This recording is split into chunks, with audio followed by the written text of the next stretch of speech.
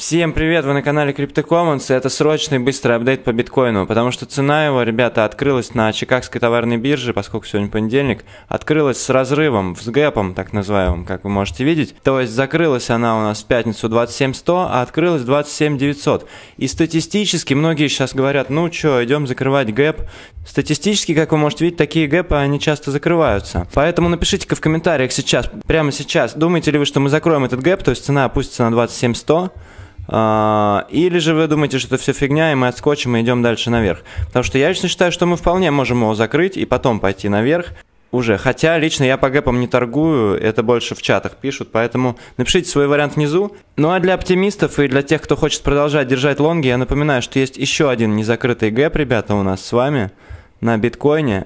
Еще аж вот отсюда, год назад, и это у нас с вами диапазон 34 тысячи, 34 500, 35, вот там примерно. 34-35 тысяч, друзья.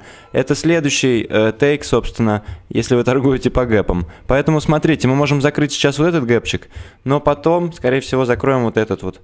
Это мое мнение, дисклеймер, не финансовый совет. Я лично продолжаю держать в своей лонг-позиции на всех любимых биржах, ссылки на которые вы найдете в описании.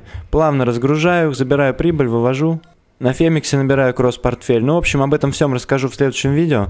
И вот, как вы видите, цена уже начинает сползать, и возможно, что мы сейчас пойдем закрывать этот гэп. Напишите в комментариях, что вы об этом думаете. Я лично не думаю, что мы прямо сейчас точно должны опуститься вниз этого канала, но до середины, может быть, исходим. Посмотрим. Спасибо, что посмотрели этот выпуск. Ставьте лайк обязательно, стоп, тейк, подписывайтесь к нам в телегу и до встречи в следующем видео.